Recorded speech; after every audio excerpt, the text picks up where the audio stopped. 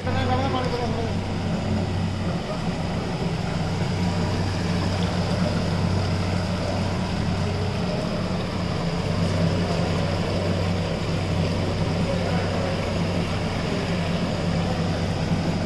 ਕਹਿੰਦਾ ਫਾਈਬਰ ਦੇ ਭਾਂ ਢੇਰ ਤਾਂ ਉਹ ਲਾ ਦਿੰਦੇ ਫਾਈਬਰ ਦਾ।